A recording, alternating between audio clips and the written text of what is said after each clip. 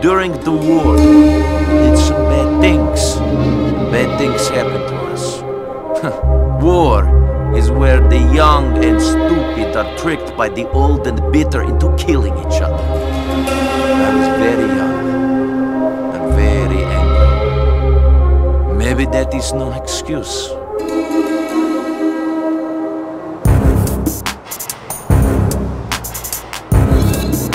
Life is complicated. I, I never thought I'd live like this. When the war came, I did bad things. But after the war, I thought nothing of those bad things. Killed people, smuggled people, sold people. You don't worry about your soul? After you walk into a village and you see 50 children all sitting neatly in a row against the church wall, each with their throats cut and their hands chopped off, you realize that the creature that could do this doesn't have a soul.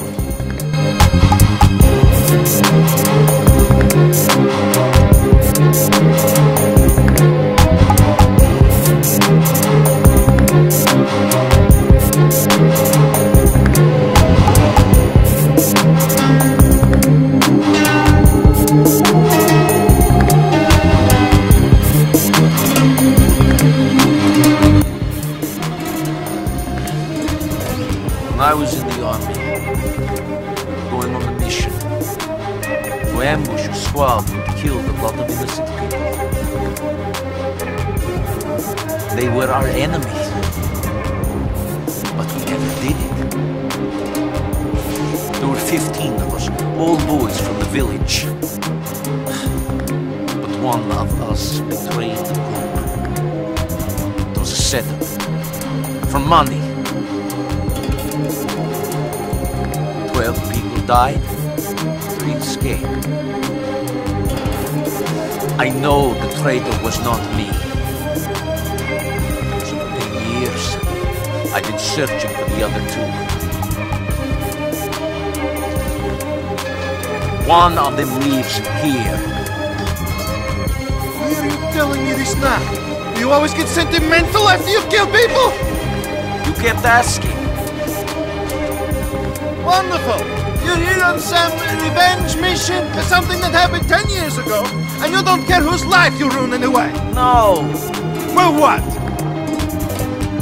I don't know. I just want to know why they did it.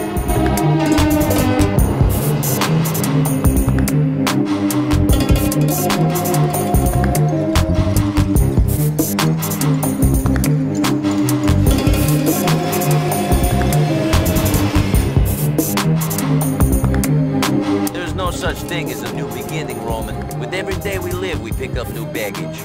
Baggage that we must carry with us for the rest of our lives. There's no dropping it and pretending we are fresh and clean just because we get off a boat in a new place.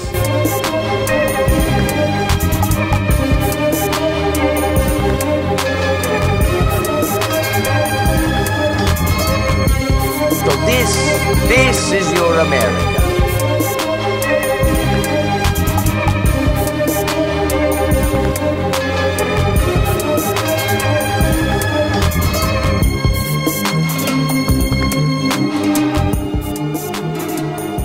God is very complicated. You mustn't give up hope.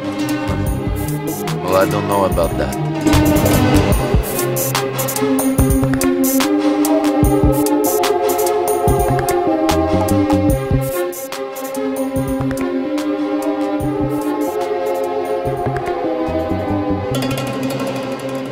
But this is what the dream feels like. This is the victory we longed for.